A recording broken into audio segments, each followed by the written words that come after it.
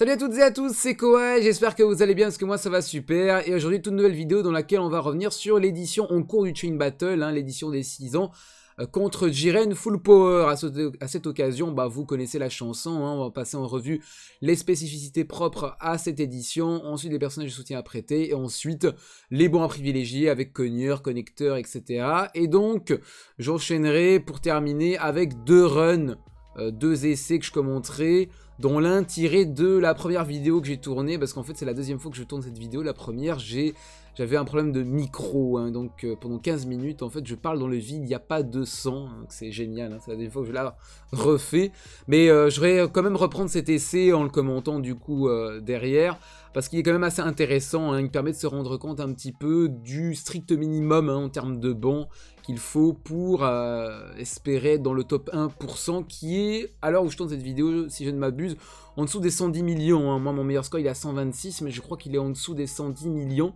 Si c'est pas le cas, corrigez ça dans l'espace commentaire. Je sais que vous le faites spontanément, et c'est très bien, parce que j'ai toujours du mal à savoir où se trouve le, top 1%. Mais donc, euh, un premier essai qui est assez intéressant pour se rendre compte du strict minimum à atteindre, et puis le fameux essai où j'ai tapé les 126 millions, histoire de voir un petit peu la logique que je vais vous expliquer juste après, poussée à l'extrême. On va commencer avec les spécificités de ce chain battle, et en fait vous allez voir qu'il n'y a pas grand chose de particulier. Euh, en fait, les catégories efficaces sont survie de l'univers et Rue7 et puissance restaurée. Survie de l'univers, Rue7, bon, très redondant évidemment, étant donné que tous les personnages de Rue7 sont survie de l'univers, à l'exception de Jubayaji, Piccolo Multiclone et Virus Monaka, je crois. On s'en bat complètement les reins. Puissance restaurée, euh, c'est le euh, l'aptitude leader de Vegeta Evo, hein, la catégorie lead par Vegeta Evo et l'air.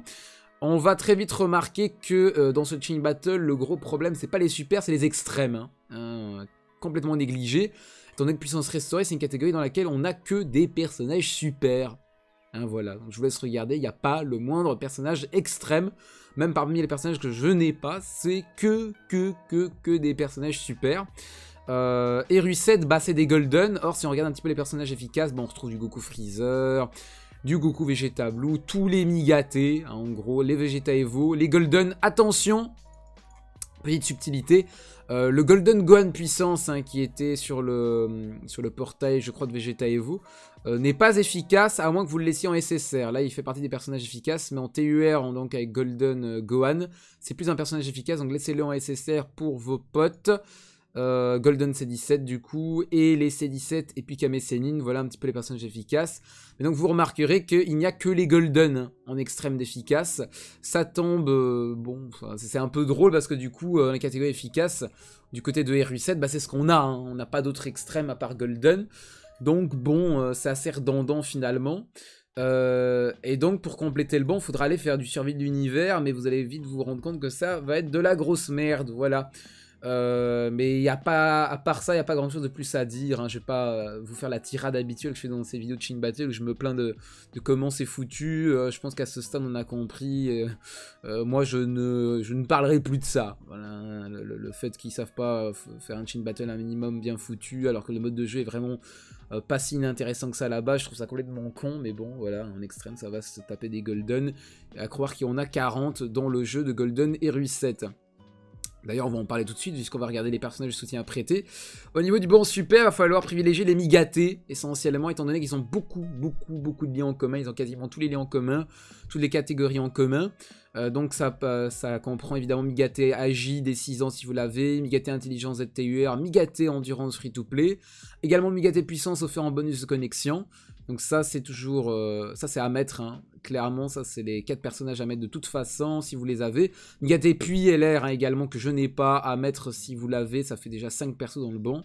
Ensuite bah vous allez vers tout ce qui est en fait... Euh, personnages qui possèdent les trois catégories sur l'univers puissance restaurée et 7 vous bombardez hein, ce que vous avez. Euh, j'ai pas mis Gohan Piccolo ici, je privilégiais euh, Goku Freezer parce que pour les stats de LR, sachant qu'il n'a que deux des trois catégories efficaces, maintenant ça reste un personnage efficace. Il plombe un peu hein, la synergie catégorie, il plombe un peu les liens. maintenant, de toute façon, dans les bons à prendre, il va falloir éviter, hein, de toute façon. Donc c'est pas le slot le plus important, mais c'est histoire quand même d'avoir 10 personnages intéressants à proposer. C'est surtout en extrême, hein, il va falloir un petit peu discuter, euh, et encore, en fait, il n'y a pas grand chose à dire. C'est surtout que vous vous rendez compte que c'est euh, très compliqué. C'est très très compliqué.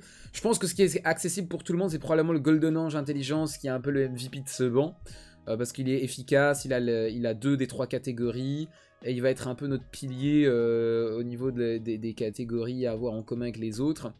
Le Golden Puits, free to play aussi, hein, essayez de le farmer. J'ai débloqué toutes les branches, il est 100%. Enfin, j'ai pas mis les compétences, mais sinon, au niveau des stats, il est à 100%.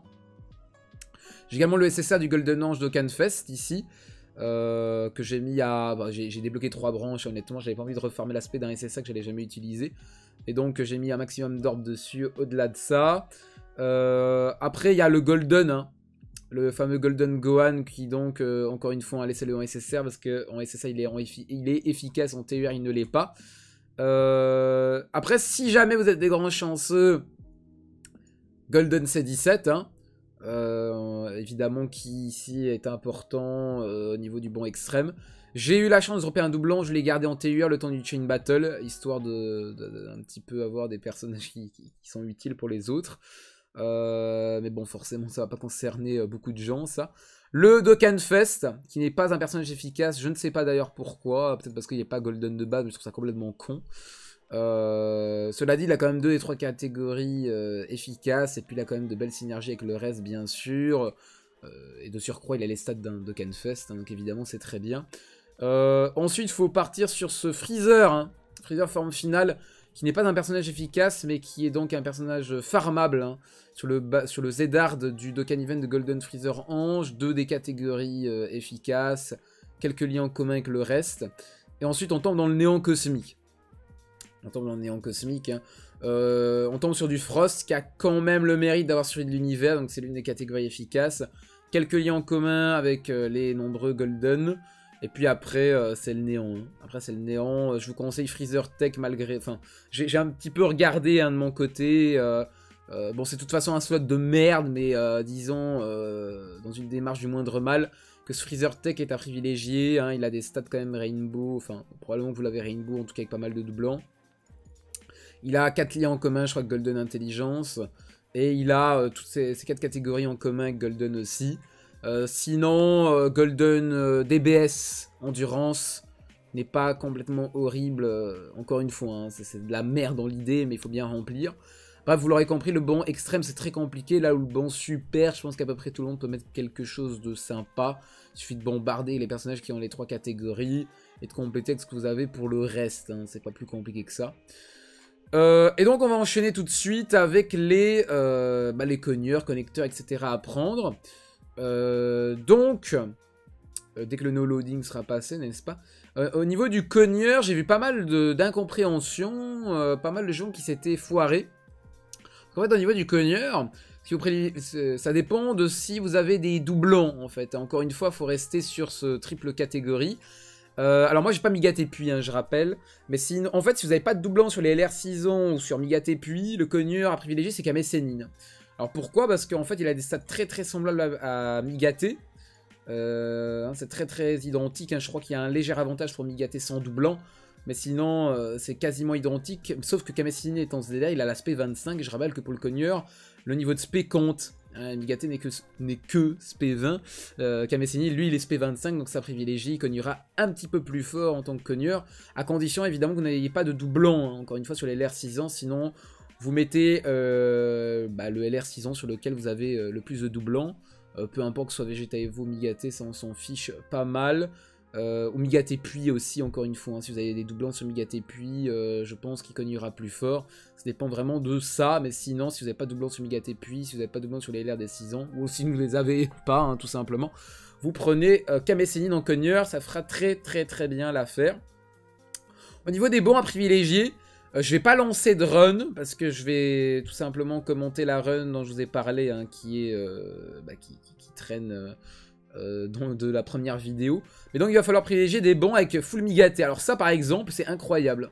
Parce que vous avez migaté AG, vous avez migaté puis, vous avez migaté N, vous avez migaté int. Ça c'est vraiment le, le, quatuor, quatuor divin, hein, sans vouloir faire de jeu de mots, mais c'est le quatuor divin à avoir. Hein. Si vous avez les quatre, c'est vraiment le, must hein, pour faire du, gros score. C'est vraiment le LR agi, le LR puis le ZTU endurance et le ZTU intelligence.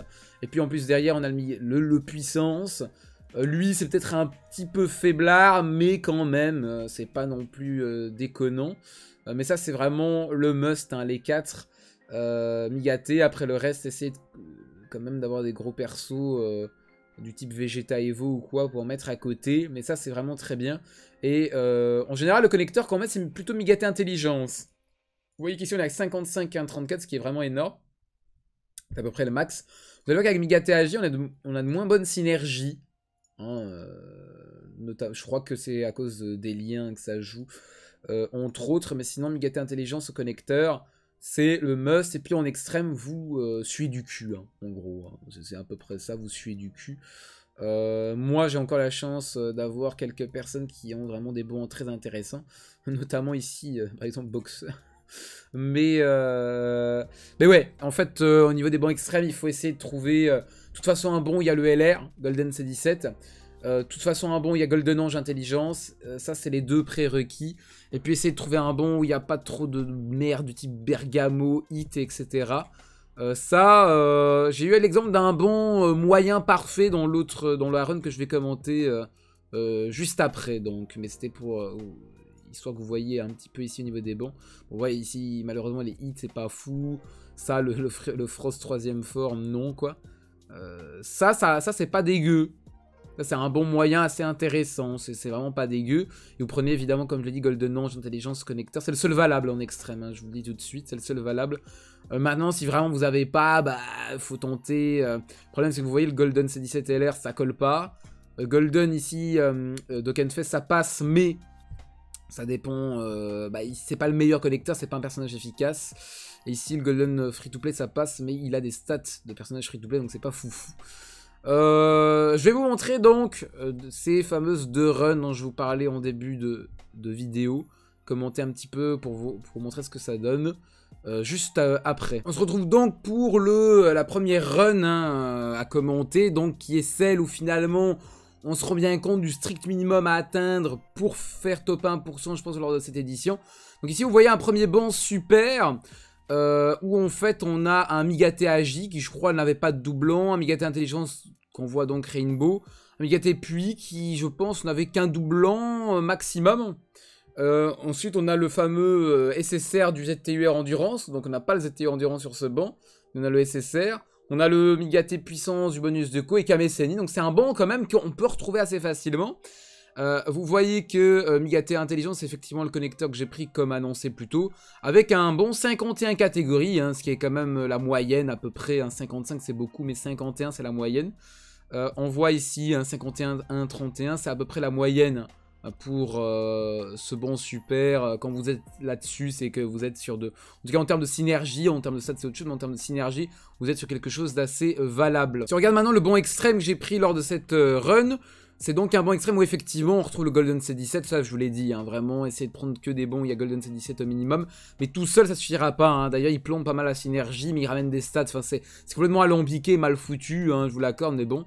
Vous voyez derrière qu'on retrouve le Golden Puits, le fameux, euh, ça du Golden Gohan, le Golden Ange évidemment qui est indispensable, avec sa version SSR ici en l'occurrence, le Golden Puits free to play, bon voilà, ça tout le monde est censé l'avoir, et on a derrière un, un slot, j'avais presque envie de dire mort avec Golden Tech, euh, qui n'a aucune des catégories efficaces, mais qui ramène un petit peu de synergie euh, malgré tout au niveau des catégories, un petit peu de lien également. Je, pense que c'est un de bons qu'on peut trouver. Hein, pour le coup, c'est deux exemples de bons qu'on peut trouver quand même, malgré tout. Euh, je sais que les plaintes qui reviennent souvent sur mes vidéos de Chain Battle, c'est que j'ai des bons qui sont pas du tout représentatifs des bons qu'on retrouve chez le commun des mortels, je vais dire ça comme ça. Euh, évidemment, bah, je fais comme je peux. Moi, j'essaie de vous donner la pédagogie euh, derrière ce mode de jeu. Et je peux pas vous donner autre chose. Hein. Je peux pas créer des miracles non plus. J'essaie de vous donner la, marche à suivre, euh, ce qu'il faut privilégier. l'occurrence, voilà, je vous explique qu'il faut prendre un maximum de migaté sur les bons super. et puis sur les bons extrêmes, d'essayer de, quand même de prendre des personnages qui sont efficaces essentiellement. Malheureusement, je peux pas créer des miracles non plus. Là, vous voyez hein, que bon, ici rien de spécial hein, au niveau de, des personnages à prendre, c'est des migatés. Hein. Évidemment qu'il faut prendre ceux qui synergisent, les golden, faut éviter comme la peste. Je rappelle que cette étape du timer, bon déjà le, fait de prendre du temps c'est pas si dramatique.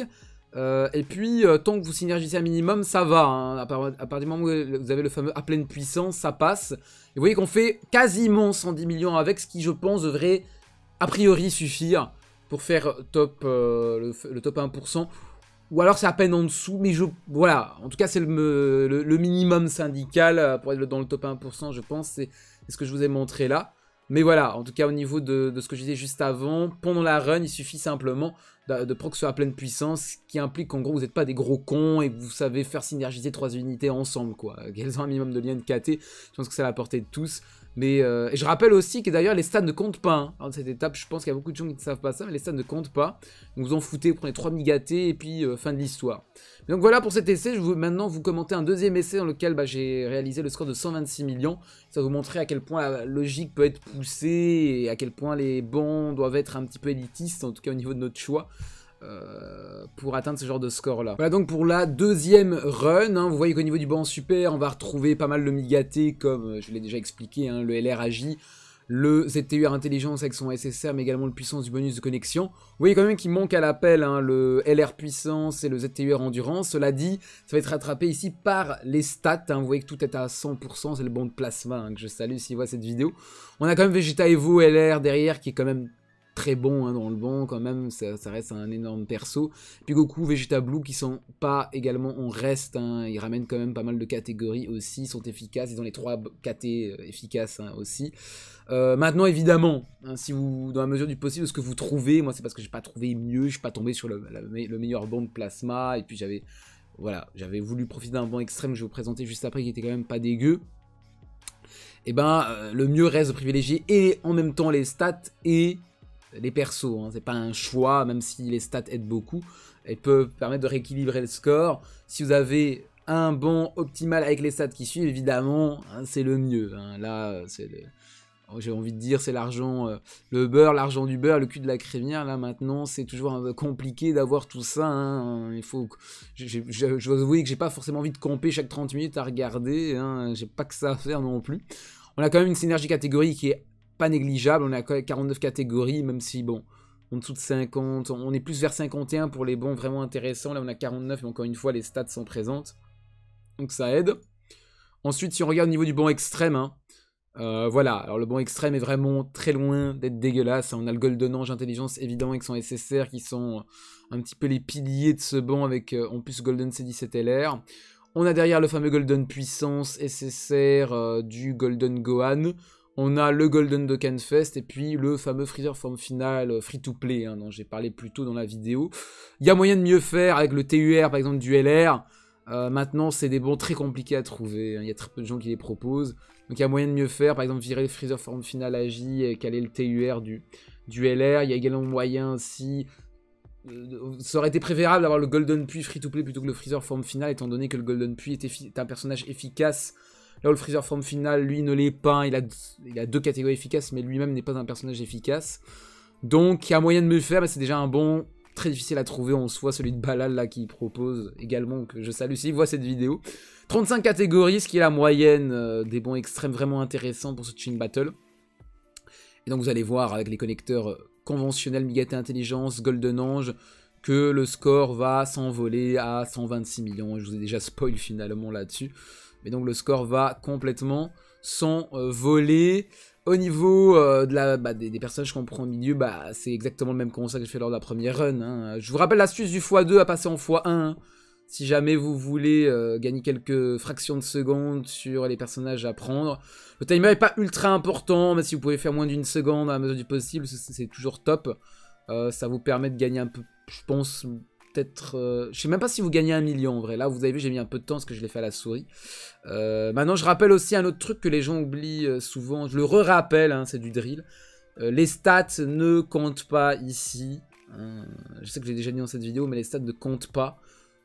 donc, essayez simplement de mettre 3 migatés, puis fin de l'histoire. Donc, vous voyez 126 millions de scores avec ce bon.